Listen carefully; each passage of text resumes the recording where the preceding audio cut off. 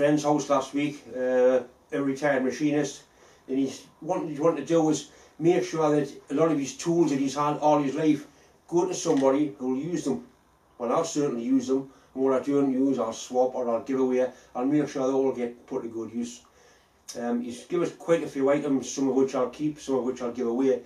There's one item he's given us, um, I need to show you it. It's, uh, it's such a fantastic piece of kit. I never ever thought I would own anything as good as this. Anyway, I'll put the camera on, let you have a look, and I'm sure you'll agree that this is something that I'll, I don't know who'll get after me, but I'll have it until, until the day I go. I will never ever give away or sell this item. This is the item I've been given. It's a full set of Imperial slip gauges. The magic thing about these ones are they're all made of tungsten carbide, solid tungsten. They're absolutely beautiful. The finish on there is absolutely amazing. These all want wiping clean and a little bit of light oil put on them.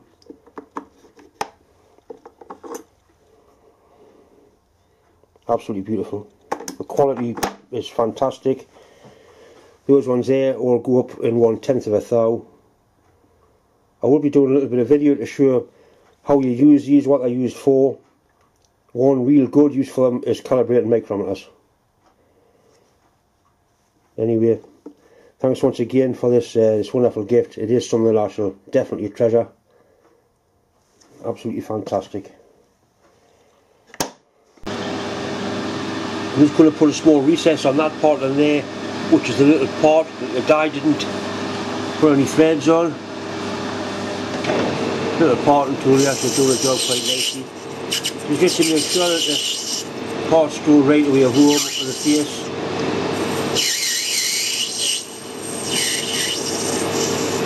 All it needs. Needs to be shortened slightly as well. A couple of threads to come off it.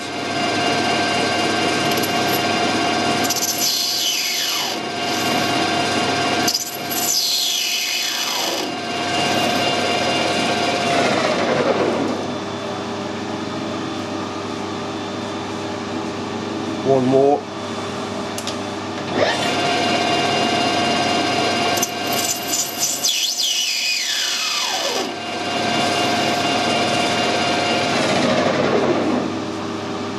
Do for me.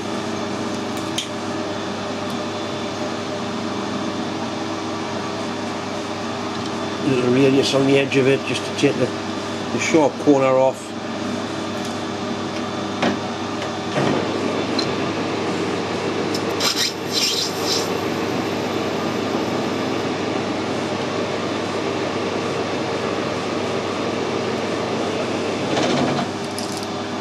we need to hole up to the centre here. The hole's going to be quarter inch. I've got a quarter inch reamer so I will use that.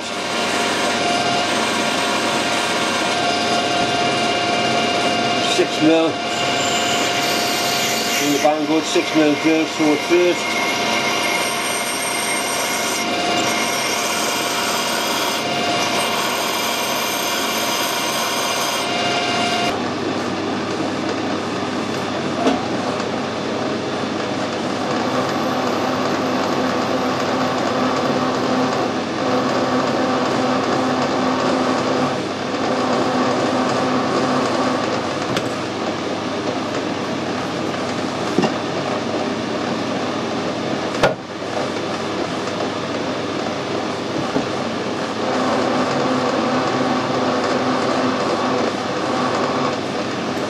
So we've got a nice round, good finish, quarter inch hole.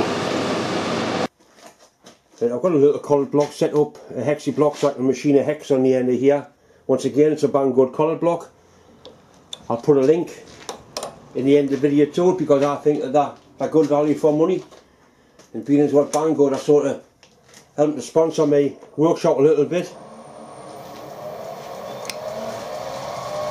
So we'll just touch this off.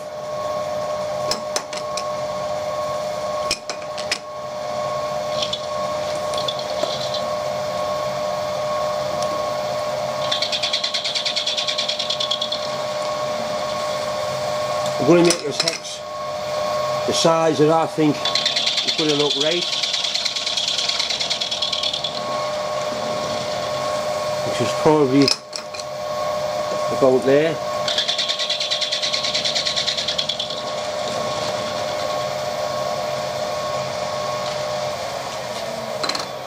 Whatever you do, turn the weight of the machine stops, don't go poking your fingers in there when it's running, a little. it will bite you.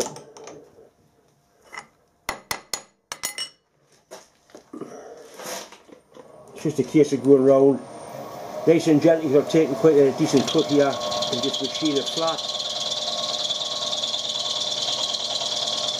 on every part of the hex.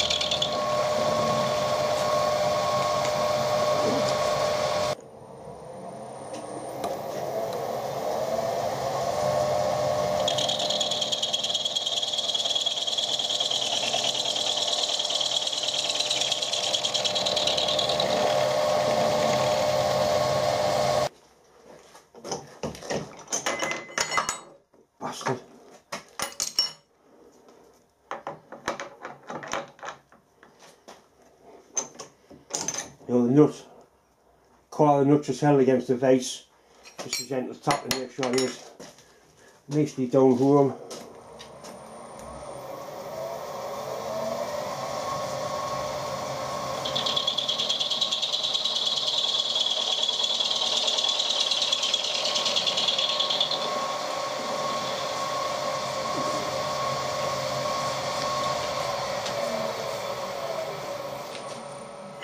last one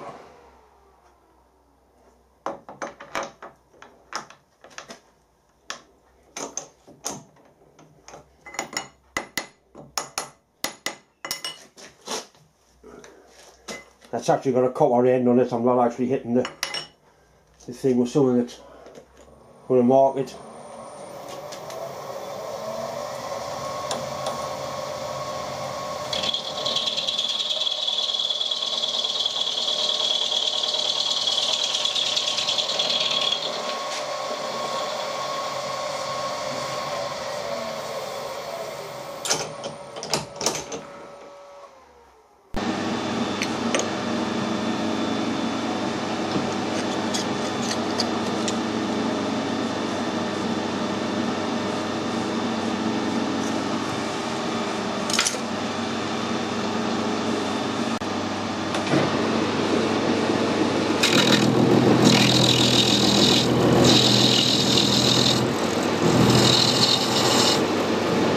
going to put a new tip in there. That tip's actually chipped, it's not cutting straight.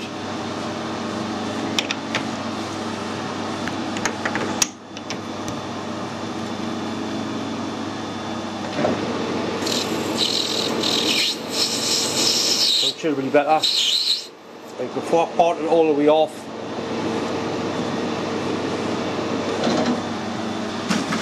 Soon I'll get my new tool on the rack built the better. Spend more time scrapping around looking for tools. There it is. I wouldn't care, you basically only use three tools. I'm to take the edge off that one. Same with that one. Just makes it look finished.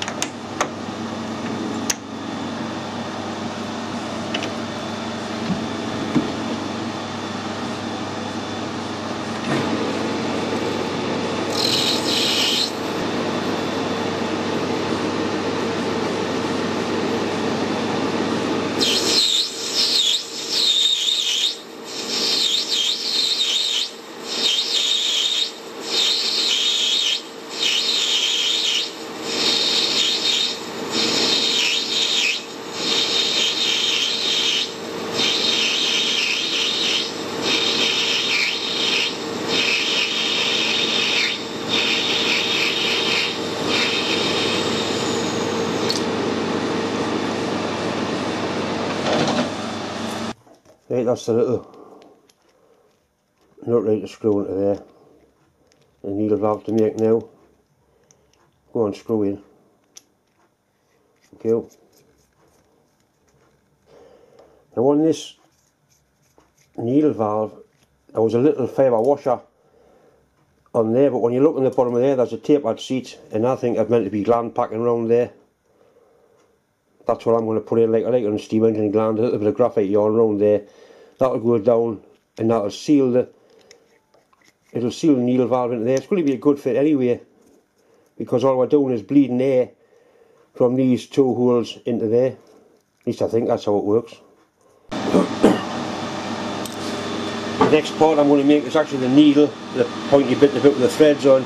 I'm going to make the knurled nut uh, separate and solder it on. This is bronze, it's much better material than the, the brass.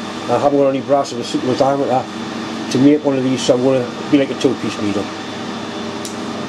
So I need that down to dead on quarter, uh, some threads on. We'll plough up of it.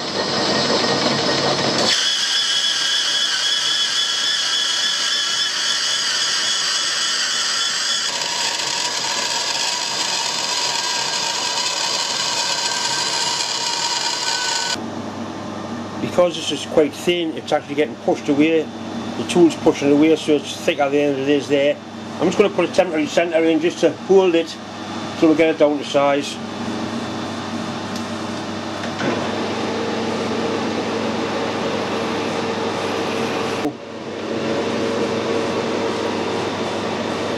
A different tool in as well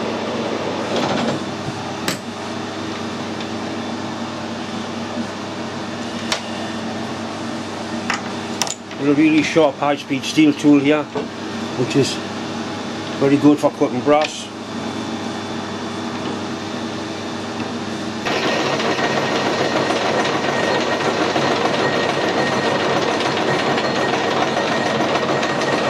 So it was cut at that end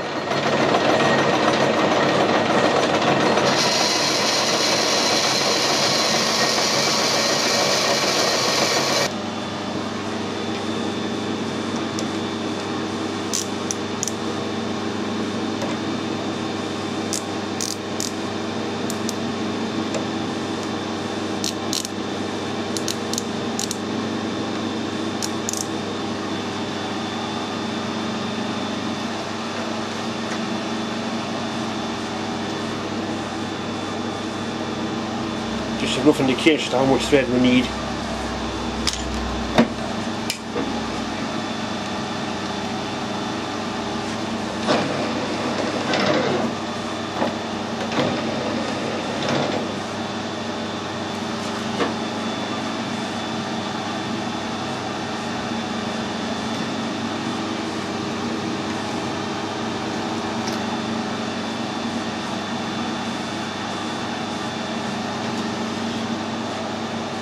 I'm not sure how good this die is. I'm going to find out. It's pretty good.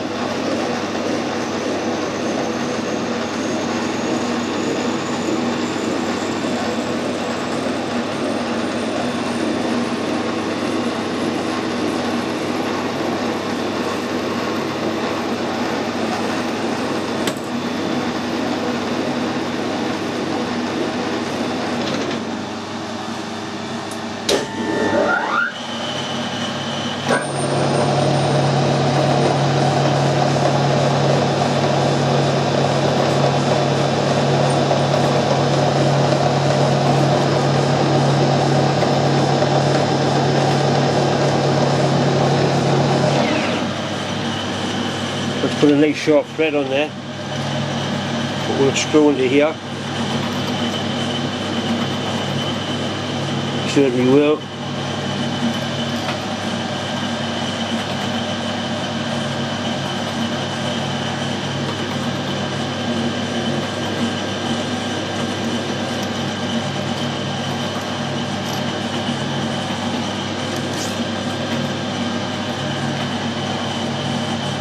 It's a little bit piss wobbly slack that.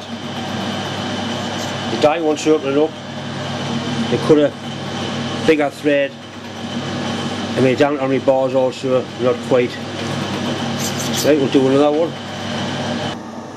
I've got exactly the same problem with this die holder as I had with the other one. The die is just too good to fit in there and it doesn't allow us to expand the die to slacken the thread off and also that grub screw hasn't got a point on so it can't open it up. So I have to put that chuck on, modify this the same as I did the last one.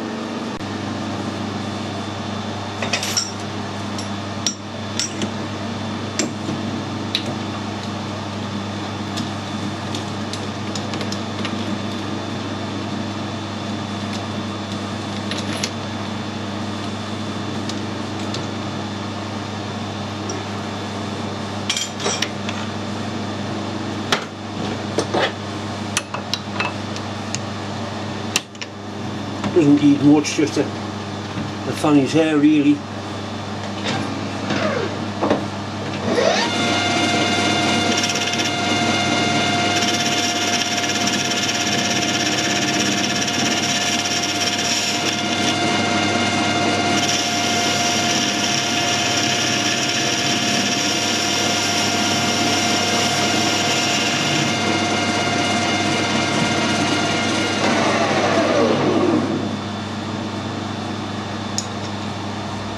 Better. Going back where we started now, nearly.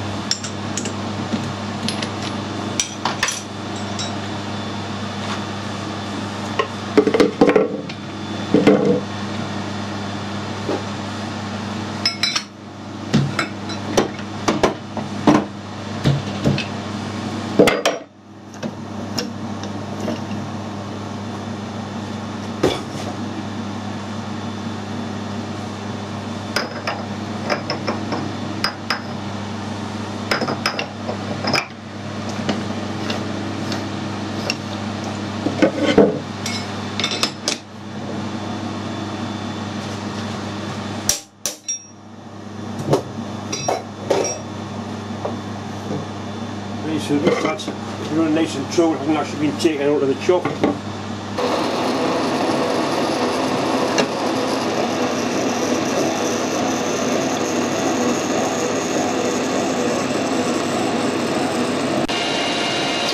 What I should have done was turn this diameter first when the bar was still nice and rigid. It is cutting but it's pushing it away. I will get there. Just it would have been nicer if I'd done this part first. Right, I have decided to do it again and I've machined the little point of the needle first when the bar was nice and stiff. I just want that down to quarter now with my threads on it. Unfortunately I forgot to start the camera up.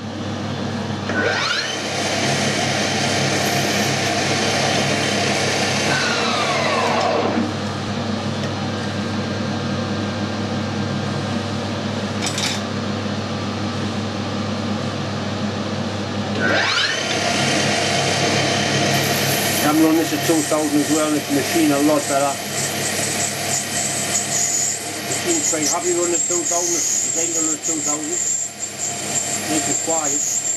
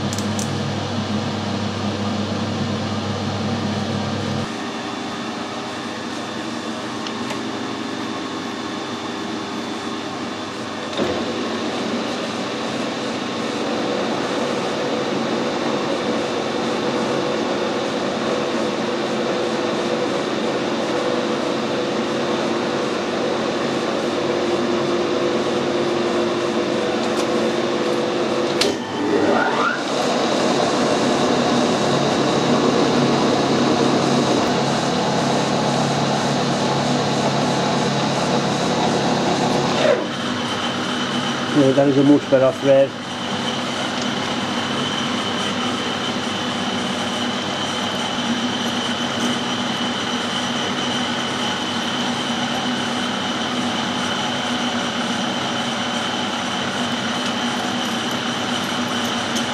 I want a little bit a little bit fine massage up here just to get that to trip on that last little bit. It's obviously slightly over quarter, but it's not much in it.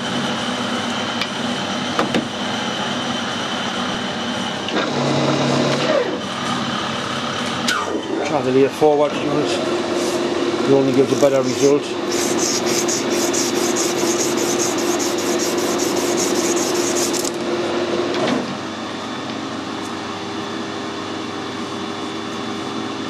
just about there.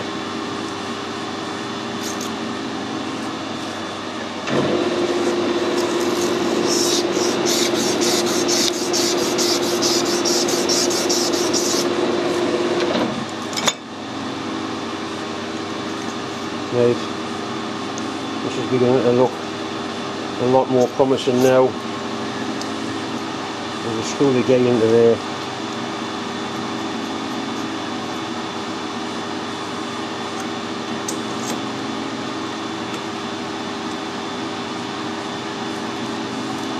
okay, what I'll do, I'll put some ink on the end of that needle just to make sure that it is going into a proper seat. Hopefully you can see the end of the, the needle there. I'll put some ink onto it. Could use marker blue I've got some ink handy.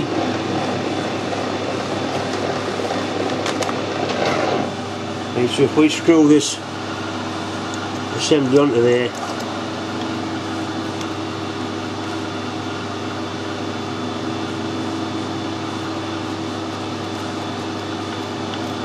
all the way home and we'll take it off we should have a nice shiny ring with it and we'll have you. Can see it right on the end there about a third of the way up where it's actually sealed on the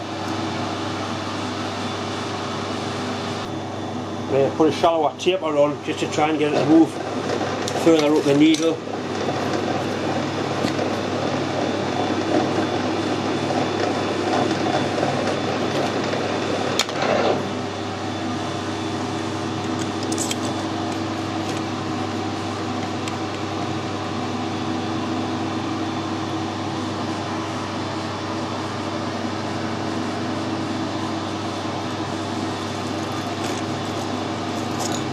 Right, that's better. You can see it now. Happy. John's happy now. In last week's video I showed these, a little, little happy frog, the little tool holders for the quick change tool posts. Quite a few people have asked if I would cut them for them. Um, if I get enough interest I'll price up what it costs to cut a batch of them. If enough people want them just send an email and say you're interested and I'll, I'll sort the price out. Once again, it's just time to say thanks for watching, thanks for subscribing, and as always, a massive thanks for all the well wishes that are coming in towards me wife and me dad. Anyway, thanks for watching.